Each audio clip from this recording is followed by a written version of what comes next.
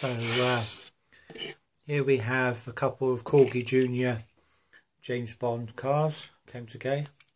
Uh, today, uh, very nice condition. Still got the 007 on it. I love this size car and helicopter because they're kind of what I grew up with. I didn't really have bigger cars. They were like Matchbox, Corgi, you know, smaller like these. No, I didn't have these back in the day. I got these together and they only cost me about eight, about twelve pound, including postage for both together. That's pretty awesome.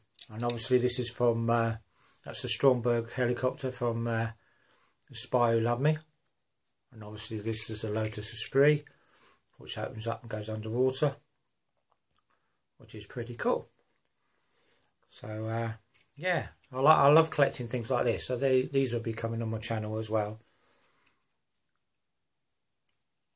I don't mind what if they've got a bit of uh, you know condition condition issues because they've been played with. But these these are in great condition.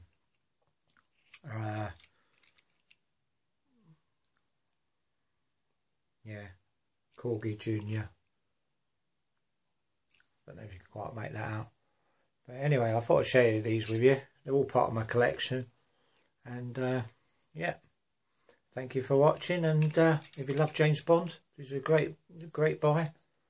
And uh, yeah, shall see you in the next video.